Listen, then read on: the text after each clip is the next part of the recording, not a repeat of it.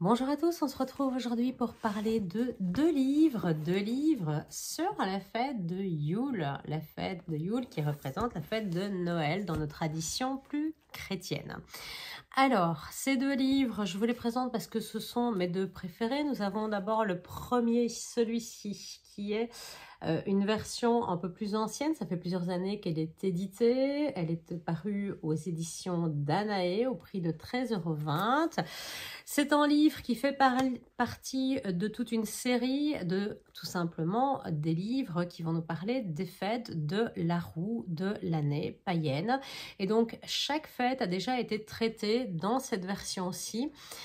Et euh, vous pouvez y retrouver absolument toutes les fêtes de l'année païenne. Alors, ils suivent tous le même principe, même s'ils ne sont pas écrits tous par le même auteur. Ils vont changer en fonction euh, des euh, saisons mais ils suivent une trame similaire. Alors je vous montre, vous avez ici les anciennes et les nouvelles pratiques. Euh, vous avez les sorts et divinations, recettes, bricolage, prières, invocations, rituels de célébration, correspondance et les fameuses bibliographies. Alors, vous avez ici les références pour suivre euh, tout ce qui est euh, donc réseaux sociaux, les éditions Danae, Danae pardon. Et euh, on commence tout de suite avec les célébrations païennes. Petit rappel, hein, dans chaque livre, on fait un petit rappel sur les différentes célébrations païennes en fonction du fait qu'elles soient célébrées dans l'hémisphère nord ou dans l'hémisphère sud, puisque bien entendu, la lumière n'est pas pareille, hein, les saisons sont inversées et donc forcément, euh, même si Noël euh, est toujours fêté le 25 décembre dans l'autre hémisphère, il n'en reste pas moins que c'est la saison d'été pour eux et que euh, ça ne correspond pas forcément à leur roue de l'année. Alors je vous montre, voici la roue de l'année dans notre hémisphère hein, traditionnel. Vous voyez que Yule est ici au-dessus puisque c'est d'elle qu'on va parler aujourd'hui. Et euh, si on va dans l'hémisphère sud, eh bien, c'est complètement inversé. Nous l'avons euh, plus bas sur la roue, tout simplement. Alors, euh, ceci mis à part, on va nous rappeler un petit peu les euh, différentes informations, les différentes traditions, leur naissance, euh, la bataille qui a lieu à chaque solstice entre les frères, le roi Ou et le roi Chêne, qui en fonction, eh bien, va déterminer l'entrée dans euh, la période sombre ou dans la période claire, puisque ici, au solstice euh, d'hiver, qui aura lieu entre le 20 et le 23 décembre, hein, ça change chaque année, donc ça, je vous renvoie vers des sites spécialisés pour déterminer la date exacte euh, à laquelle a lieu le solstice. Eh bien, ici, la bataille qui va se dérouler entre le roi ou le roi euh, de la période sombre et le roi chêne, celui de l'été, va être gagné par le roi chêne, ce qui va nous permettre de remonter au niveau de la lumière. Et effectivement, puisque c'est le solstice, les jours vont se rallonger. On le verra déjà dès le mois de janvier. Hein, ces, jours seront de plus en plus longs et le retour de la lumière se fera. A contrario, eh bien, euh, lorsqu'il y aura le solstice euh, d'été, eh bien ce sera le roi Ou qui sera vainqueur sur son frère et nous rentrerons dans la période sombre, période sombre dans laquelle nous sommes plongés actuellement et la nuit la plus longue aura donc lieu le jour du solstice. Alors ça c'est pour un petit rappel sur le principe. Dans ce livre, spécifiquement, eh bien, on va nous rappeler les anciennes pratiques, hein, comment on fêtait Yule, à quoi ça correspondait. C'est intéressant parce que les choses ont changé. À l'époque ancienne, eh bien, euh, on avait peur finalement que le soleil ne revienne pas, peur que les récoltes euh, ne puissent pas reprendre, que la terre ne se réchauffe pas.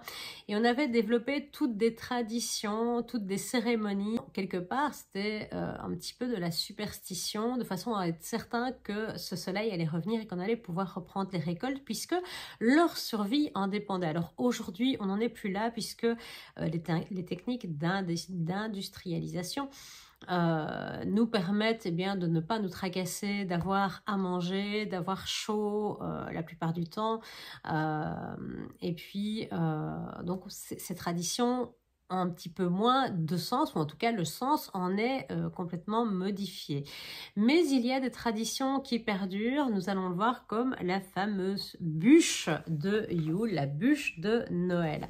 Donc petit rappel ici sur les anciennes pratiques, sur eh bien pourquoi on allumait cette bûche, hein, pour ramener la lumière dans le foyer, euh, le fait que l'on conservait un petit morceau de la bûche pour rallumer celle de l'année suivante en référence à tout ce qui est cyclique, à tout ce qui est recommencement, à tout ce qui est continuel dans notre vie, que tout euh, se poursuit et que finalement rien ne s'arrête définitivement euh, dans ces cycles saisonniers. Nous allons également revenir sur les différents calendriers, sur les modifications, vous le savez, hein, avec les années bissextiles, on essaye de compenser, euh, puisque une année au niveau solaire n'est pas exactement 365 mais qu'il y a un petit euh, supplément de 0,24, je sais plus exactement, donc qui est compensé par une année bisextile, ce que nous aurons d'ailleurs en 2024. Euh, on va nous parler des nouvelles façons de voir Yule, comment célébrer ceci. Et puis ce que j'aime beaucoup, et eh bien, c'est que l'on va arriver dans la partie sort et divination. Alors pour toutes celles qui, c'est ceux qui ont des pratiques ritueliques, c'est assez euh, sympathique de voir quel type de magie on peut utiliser durant euh, ces périodes sombres. Et entre autres on nous parle de cette fameuse euh, de ce fameux nettoyage de bénédiction pour la maison pour l'hiver.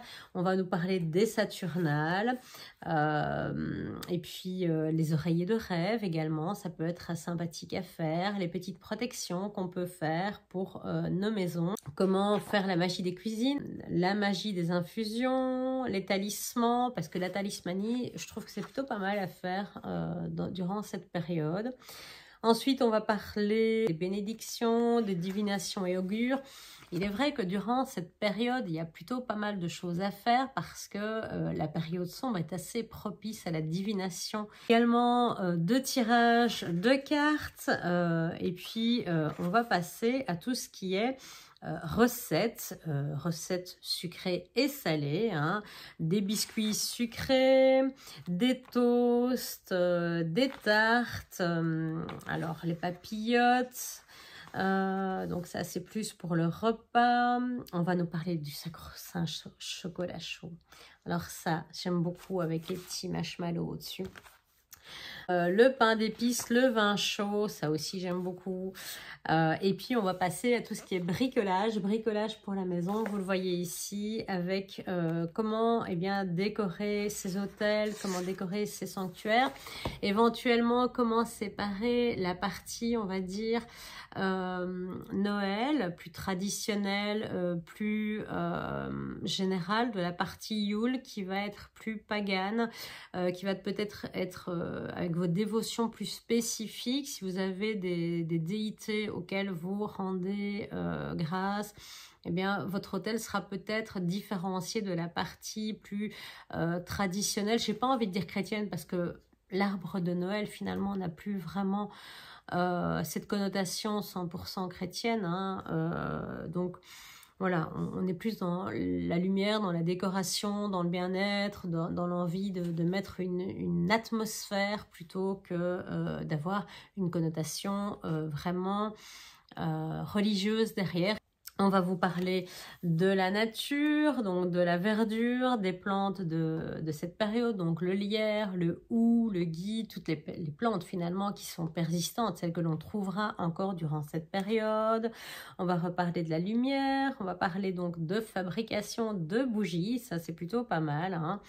Euh, faire des couronnes, des couronnes de feuilles, faire des cadeaux, quel type de cadeaux on peut faire soi-même. Et puis, Comment euh, pratiquer les rituels dédiés spécifiquement au solstice d'hiver? Quelques idées de musique, le rôle du journal, donc le journaling, particulièrement utilisé durant la période sombre. Et puis, euh, faire la fête et les rituels au coin du feu. Comment préparer votre bûche, puisque comme je le rappelle, bien évidemment, à l'époque ancienne, il y avait des âtres dans les maisons. Aujourd'hui, eh bien, c'est de moins en moins le cas, donc on va préparer notre bûche de manière tout à fait différente. On va aller chercher un morceau de bois, une bûche que l'on va décorer, que l'on va préparer, mais plus avec euh, le principe du feu va être représenté par des bougies, alors puisque euh, tout le monde n'a pas euh, cette chance d'avoir un foyer dans son habitation. Deuxième livre que je vous propose, je vous le montre, il est magnifique.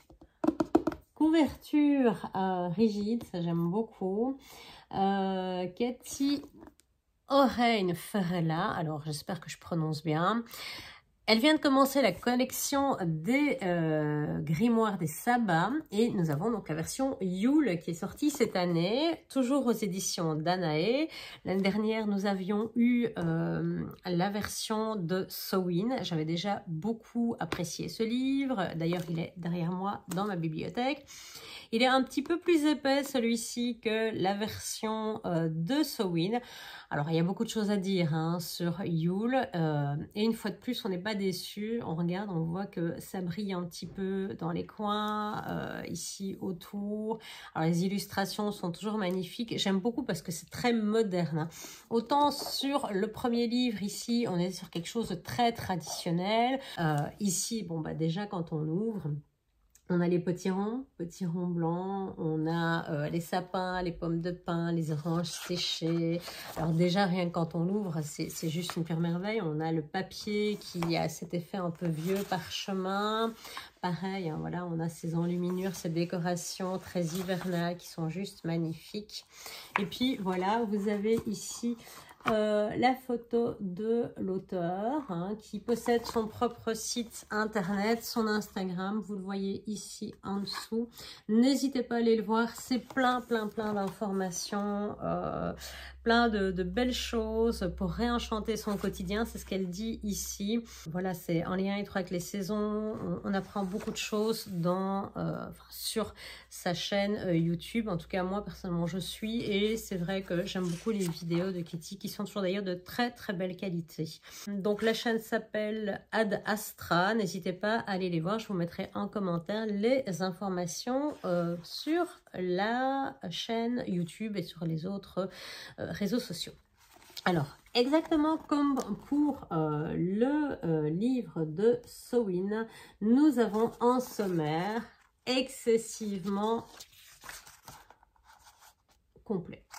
Alors, je vais essayer de tourner, c'est pas facile à l'envers. Vous voyez, je crois que c'est pas moins de 4 pages de sommaire. Est-ce qu'il y en a encore une derrière? Non, il n'y en a plus derrière. Mais donc, vous avez vraiment un sommaire hyper détaillé.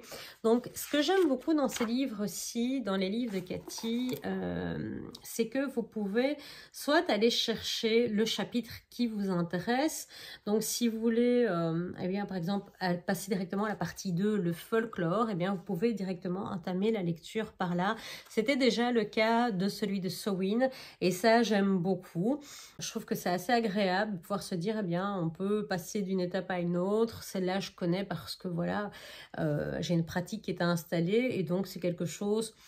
Euh, je ne vais pas dire qu'on ne va pas euh, trouver d'intérêt à relire, bien au contraire, parce que vraiment, moi j'ai lu ce livre et j'ai encore appris plein de, petites choses, de petits détails. C'est fouillé, c'est recherché. On nous parle des traditions et du paganisme au XXIe siècle. Vraiment, elle va chercher des informations euh, intéressantes, pertinentes, et même si on a déjà une pratique installée, euh, je suis certaine que tout en chacun trouvera toujours une petite information ou l'autre en plus par rapport à ce qu'il sait déjà. Nous avons dans les grands chapitres, hein, je ne vais pas prendre tout, mais nous avons la partie 1 qui concerne la saison de Yule, au profond de la nuit, de Yule à Noël, la résilience du Capricorne, donc on nous parle d'astrologie, de lunologie également, puisqu'on va nous parler des lunes des glaces et celles du loup, donc celles qui vont décembre et janvier. Dans la partie 2, on parlera du folklore, des divinités du solstice, les personnages mythiques et les créatures fantastiques. Ensuite, le bestiaire de Yule. Euh, partie 3, préparatifs. Sur l'autel, les couleurs de Yule, le vert et le rouge. La pratique, chapitre 10, travailler avec les pierres. L'herbier de Yule. Euh, puis la magie forestière, chapitre 13, l'avant, et enfin les pratiques. En partie 4, eh bien, ça parlera de la célébration, les 12 jours de Yule, et ça, je trouve ça pas mal, parce que vraiment, les 12 nuits de Yule, donc du 20 décembre au 31 décembre, chaque, euh, chaque jour, chaque nuit a sa propre euh, référence, à ses propres informations. Alors, je vais pas tout vous dévoiler. Ensuite, on vous parlera des pratiques divinatoires que l'on peut faire, utiliser durant cette période plus sombre. En chapitre 16, la cuisine pour Yule. Et là, je vous assure qu'il y a quelques jolies petites recettes, entre autres le chocolat chaud enchanté, le pain d'épices magique, la fameuse bûche de Yule, la galette des rois, le panettone. Euh, donc pas mal de petites recettes sympas. Célébrer Yule avec les enfants, ça c'est aussi une des spécificités de ces livres-ci. Euh, c'est que euh, les enfants sont inclus. Autant dans ce livre-ci, oui, il y a des bricolages qu'on peut faire avec les enfants. Ici, il y a vraiment une pratique spécifique aux enfants. Il va y avoir également la bibliothèque, hein, je pense, des enfants je regarde. Célébrer Yule avec les enfants. Et je pense, oui, dans la bibliothèque, l'étagère de 0-3 ans, 3-6 ans, 7-12 ans, ado, adultes. Donc vraiment, on inclut les enfants dans les célébrations et ça, je trouve ça génial parce que c'est quelque chose qui est moins courant. Il y a vraiment un chapitre qui leur est dédié entièrement et ça, franchement, moi, je trouve ça top. Ensuite, on va passer à la partie 5, au cœur de la nuit et de la glace, de l'obscurité à la lumière. Magie de la neige. Alors ça, évidemment, magie de la neige, tout dépend où on vit. Nous, on n'a plus vraiment l'occasion en Belgique de voir de la neige. C'est bien, bien triste. Euh, mais donc, on va nous parler d'autres choses, hein, de sigil, de changement, de tradition, de tradition, pardon, d'entrave et bannissement, se protéger des médisances, euh, d'une mauvaise habitude, quelques pratiques, et entre autres la fameuse de Yule, euh, le sortilège de la Reine des Neiges. Donc voilà, tout ce qui est rapport avec le tarot, l'ermite, une éloge à la lenteur. Donc elle va nous reparler de cette carte spécifique qu'est l'ermite, sa euh, connotation, sa correspondance avec la période de Yule, le slow living qui correspond effectivement très très bien à cette carte de l'ermite. Euh, en partie 6, Yule Cozy avec le jardin, prendre soin de soi. Et enfin, les suggestions avec cette fameuse bibliothèque, mais également quelques suggestions euh, devant l'écran de films, de romances, d'animation, de magie de Noël, divers, fantastiques. Et puis viennent ensuite euh, la dernière partie, donc vers Imbolc, hein, donc euh, la fête qui se déroule au mois de février. Les remerciements, références et crédits. Alors, on revient un petit peu sur le livre. Vous le voyez, ce livre est juste hyper moderne. Euh, quand je dis hyper moderne, oui, il a cet aspect ancien, euh, vieux grimoire avec les décorations juste magiques, mais il est écrit d'une manière beaucoup plus moderne, c'est-à-dire qu'on va y retrouver une façon de proposer la présentation euh, du livre. Donc, vous voyez, on a toujours un petit, un petit récit ici qui débute le chapitre et, puis on va entrer en plein dedans. Mais voilà, comme ce genre de petite incrustation, voilà ici. C'est cette façon aussi que j'explique qui est plus moderne, où les livres ne sont plus bien forcément euh, mis les uns derrière les autres. Euh, on y inclut des petites euh, enluminures, on y inclut des petits dessins, ici entre autres la roue de l'année, comme des petites notes, des papiers anciens, des papyrus. Regardez-moi ça, si c'est pas sublime. Voilà, ici on parle de la tradition ancienne, donc de la déesse. C'est superbe. Enfin, les, décorations sont juste magnifiques. Alors, je vais essayer de vous trouver euh, un endroit.